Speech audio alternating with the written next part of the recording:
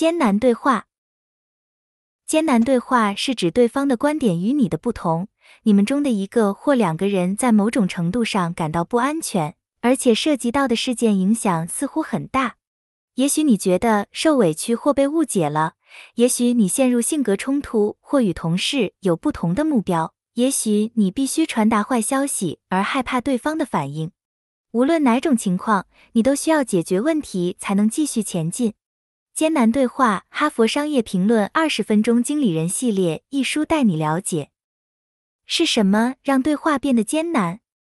为艰难对话做好准备，进行对话，就下一步计划达成一致，成为更好的沟通者。这本书很短，只有一百二十八页，你可以在很短的时间内学到很多东西。我特别喜欢的是，作者提供了几个例子供读者思考。以此让读者学会将艰难对话变成富有成效的对话所需的技能。作者列了一些问题，让读者在准备和进行艰难对话时可以问自己。